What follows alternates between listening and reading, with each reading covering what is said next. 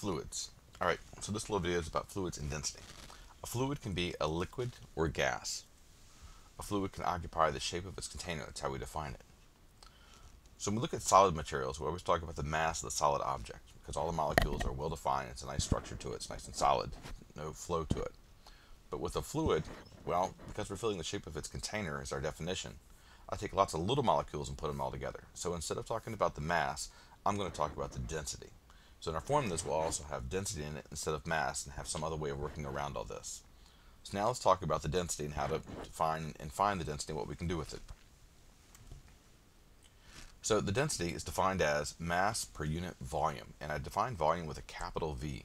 Sometimes when I'm writing it by hand, I'll put little serifs or little like horizontal lines on top of my V.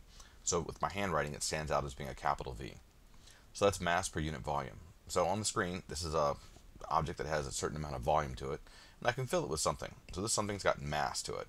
Uh, think of it as a sponge, or what do you want to look at, but I've got something inside this volume. So this object has density. To increase the density, what I'll do is I'll compress the molecules, and I'll put more of these objects inside of here. So what I'm doing right now is putting 21 times more objects in here. In other words, 21 times more molecules or 21 times more mass inside my volume. So my density is increased by a factor of 21 in this case. The formula for density is equal to rho equals mass divided by volume. So that looks like a lowercase p, but actually it's the Greek letter rho. So it's not the lowercase p, and that's the symbol that we're going to be using for density. The units are just like the formula. There's nothing special about density. It's not named after any person. So it's just what the formula says. It's a kilogram per meter cubed. Volume in standard SI units is a meter cubed and the mass in standard SI units is a kilogram.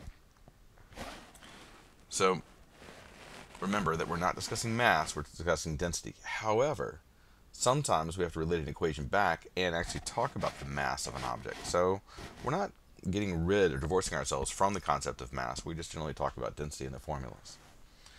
So to talk about mass, it's really easy. We'll just rearrange the equation and see that mass is equal to volume times density. Remember, that's the Greek letter rho, not the lowercase p. So let's do a little comparison between some old stuff we have and new stuff. In other words, classical mechanics and fluid dynamics. In classical dynam uh, mechanics, we know that the kinetic energy is 1 half mv squared, and the potential energy stored due to gravity is equal to mgh. But when we convert that over to fluid dynamics, we divide everything by volume. And in doing so, we kind of alter our equation. So the kinetic energy divided by volume is 1 half rho v squared, and the kinetic energy divided by volume is rho gh.